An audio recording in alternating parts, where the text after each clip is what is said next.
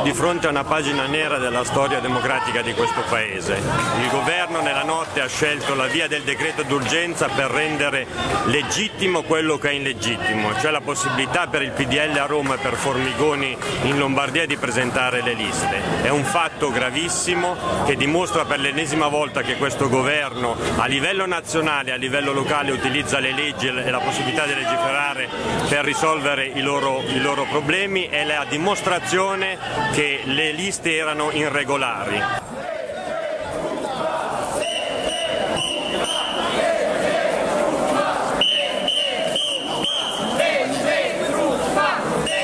Andiamo giù per largo La notte della democrazia? Un attentato gravissimo alla democrazia fatto da persone che quando sono stati eletti, quando sono stati nominati membri del governo hanno letto questo giuramento. Giuro di essere fedele alla Repubblica, di osservare lealmente la Costituzione e le leggi ed esercitare le mie funzioni nell'interesse esclusivo della nazione. Hanno tradito questo giuramento, hanno agito unicamente nell'interesse dei loro partiti, dei loro, delle loro parti e dei loro interessi privati. Ed è stata estremamente grave anche la decisione di Napolitano di controfirmare immediatamente il decreto. Doveva essere il garante della democrazia, è stato invece il garante di interessi di parte.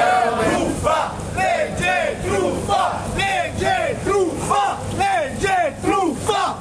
Decreti di merda. Ne abbiamo tanti tanti, ma questo di notte. questo decreto, con questo decreto, questo governo ha deciso che nel nostro paese non esistono più le regole, hanno trascinato le regole nel fango con la questione morale infinita, con la gestione della protezione civile, con la corruzione a Palazzo Marino, con gli assessori regionali in galera e quelli che ci devono ancora andare. Sono rimaste soltanto le regole che governano il processo elettorale, che sono il cemento che tiene insieme la convivenza del nostro paese.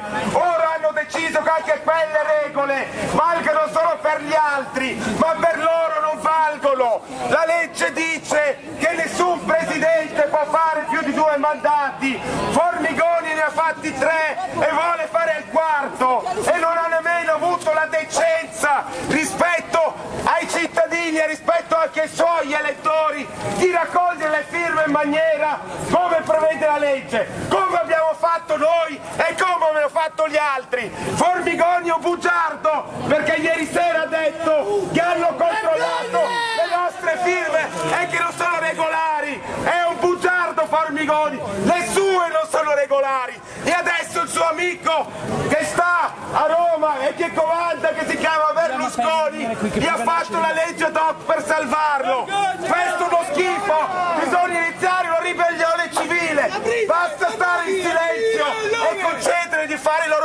affari, basta!